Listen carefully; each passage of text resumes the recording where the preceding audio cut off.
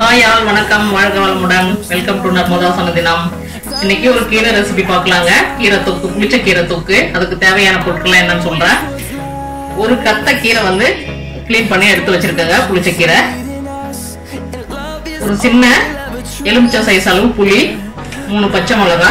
இது மூணு வந்து ஃபர்ஸ்ட் வேக போட்டுடணும். இது தனியா வச்சுக்கோங்க. நெக்ஸ்ட் அதை வந்து தாளிக்கிறதுக்கு உளுத்தம்பருப்பு. ரெண்டு டேபிள் ஸ்பூனு. வடகம் ரெண்டு டேபிள் ஸ்பூனு சிகப்பு மிளகா ஒரு இருபது சிகப்பு மிளகா எடுத்துக்கணுங்க. பிக்கிள் டைப்பில் இருக்குன்றதுனால உப்பு புளிப்பு காரம் எல்லாமே இருக்கும். இது மூணும் வந்து தனியாக ரோஸ்ட் பண்ணி கிரைண்ட் பண்ணிக்கணும் இது எல்லாத்தையும். ஃபைனலாக தாளிக்கிறதுக்கு வந்து கார்லிக் வந்து ஒரு ஃபுல் ஃபுல் கார்லிக் எடுத்து க்ரஷ் பண்ணி வச்சுருக்கிறேன். கடுகு வந்து ஒரு டேபிள் ஒரு டீஸ்பூன் எடுத்துக்கோங்க. உளுத்தம்பருப்பு வந்து ஒன் அண்ட் ஆஃப் டீஸ்பூன் எடுத்துக்கோங்க. அதுதாங்க அதுக்கு தேவையான பொருட்கள்.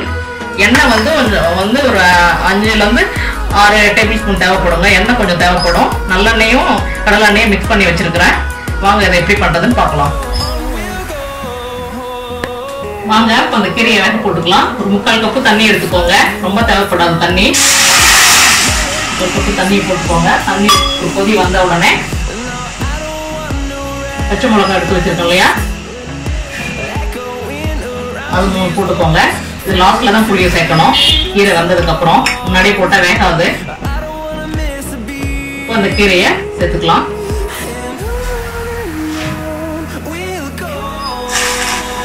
இது வதக்கியும் செய்யலாம் வேக வச்சு செய்யலாம். வதக்கி செய்யறது ஒரு டேஸ்ட்ல இருக்குங்க. வேக வச்சு செய்யறது ஒரு டேஸ்ட்ல இருக்கும்.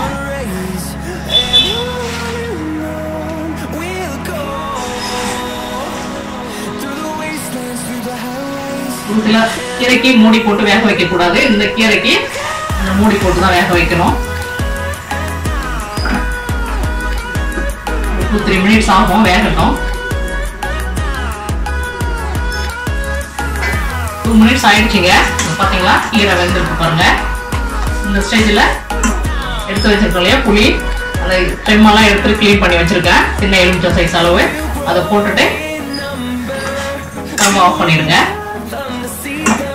இது ஆறட்டும் நெக்ஸ்ட் ஒரு கடையில எண்ணெய் விட்டுக்கோங்க ஆறு ஏழு ஸ்பூன் எண்ணெய் டேபிள் ஸ்பூன் எண்ணெய் சொன்னோம் இல்லைங்களா? இதுல இப்போ one and half tablespoon எண்ணெய் விட்டுக்கோங்க one and half tablespoon வந்து ரெண்டு டேபிள் ஸ்பூன் வரைக்கும் விட்டுக்கலாம்.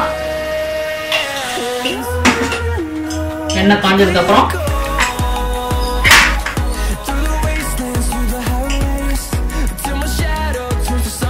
வடகம்.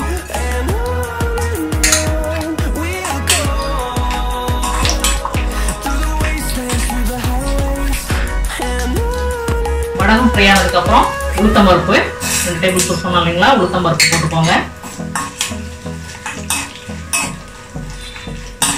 முன்னமே சொன்ன மாதிரி மிளகா தேவைப்படுங்க. உப்பு புளிப்பு காரம் எல்லாமே இருக்கணும். ரைஸ்க்கு போட்டு சாப்பிட்டா ரொம்ப நல்லா இருக்கும் அந்த தொக்கு. உளுத்தம் பருப்பு வெந்ததுக்கப்புறம் ரோஸ்ட் மிளகா ஒரு டுவெண்ட்டி நம்பர்ஸ் எடுத்து வச்சிருக்கிறேன்.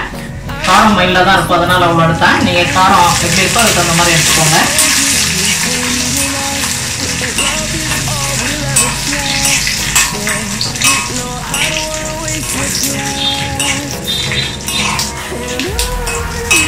உங்களுக்கு வடகம் இல்லைன்னா கொஞ்சம் தனியா சீரகம் கடுகு கொஞ்சம் வெந்தயம் ஃப்ரை பண்ணி இந்த இப்போ சொன்னா இல்லைங்களா? உ- உளுந்து ரெட் சில்லி அதை போட்டும் நீங்கள் பண்ணிக்கலாம். வடகம் ஒரு சிலர் வடகம் யூஸ் பண்ணாமல் இருக்கிறவங்க இருக்கீங்க இல்லையா? அவங்களுக்காக சொல்கிறேன் இது ரோஸ்ட் ஆயிடுச்சு. சூட்லேயே இருக்கட்டும். இப்போ என்ன பண்ணணும்? ஏற்கனவே நம்ம வேக வச்சு வச்சுருக்கோம் இல்லையா? கீரை கீரையும் இதையும் போட்டு நல்லா கிரைண்ட் பண்ணி எடுத்துகிட்டு வந்துடுங்க. எடுத்துகிட்டு வந்ததுக்கப்புறம் காட்டுறேன். ரோஸ்ட் ஆகிடுது ஆறிடுதுங்க. மிக்சி ஜாரில் ட்ரான்ஸ்ஃபர் பண்ணிக்கோங்க. மிளகாய் வடகம் உளுத்தம்பருப்பு ஃப்ரை பண்ணோம் இல்லையா? அதை போட்டுக்கோங்க.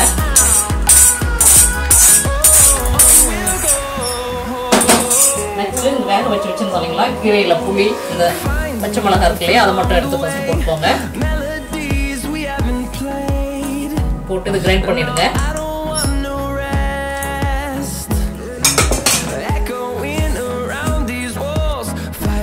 போட்டு கிரைண்ட் பண்ணி எடுத்துட்டு வந்துட்டுங்க. ஃபைனலாக கீரையை போட்டு அரைச்சி இப்போ வாங்க அதை எப்படி தாளிக்கிறதுன்னு பார்க்கலாம்.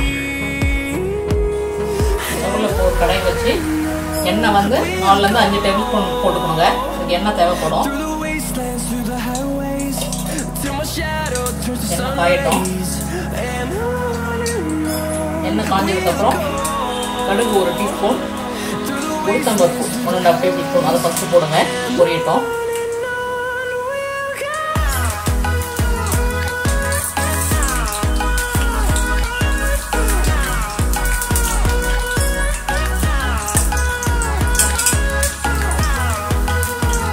கடுகு பொரிஞ்சிருச்சுங்க. இப்போ க்ரஷ் பண்ணி வச்சிருக்கு கார்லிக் ஒரு கார்லிக்கை உரிச்சு க்ரஷ் பண்ணி வச்சுருக்கிறேன். அதை போட்டுக்கோங்க.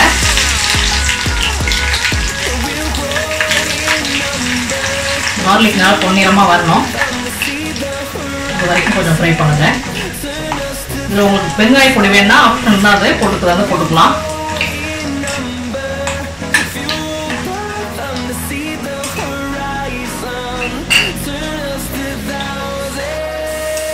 கார்லிக் கோல்டன் ப்ரௌன் கலர் வந்துருதுங்க இப்போ இந்த ஸ்டேஜில் அரைச்சி வச்சிருக்கோம் இல்லையா? இந்த கீரை இதை போட்டுக்கோங்க.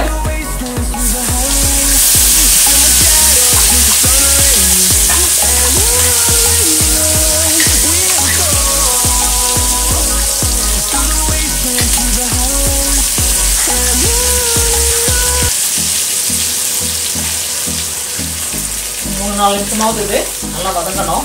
எண்ணெய் பிரிஞ்சு வர்ற வரைக்கும்.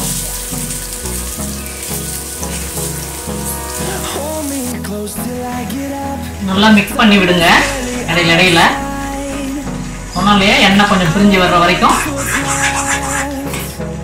நல்லா அதை கிளறி விட்டுட்டு இருக்கணும்.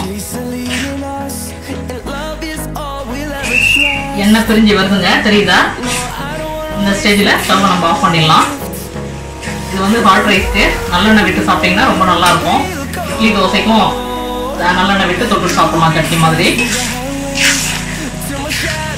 சிக்கன் ஃபார்ம்லேயும் இருக்கும். பச்சடி ஃபார்ம்லேயும் இருக்கும். கொஞ்சம் எண்ணெய் நம்ம இன்னும் எக்ஸ்ட்ரா விட்டுக்கிட்டா கூட ஒன் மந்த் ஆனாலும் கிடாம நல்லா இருக்குங்க. அவ்வளோதாங்க நம்ம நம்ம பூங்குற பச்சடி ரெடி ஆகிடுது தேங்க்ஸ் ஃபார் வாட்சிங் நன்றி வணக்கம்.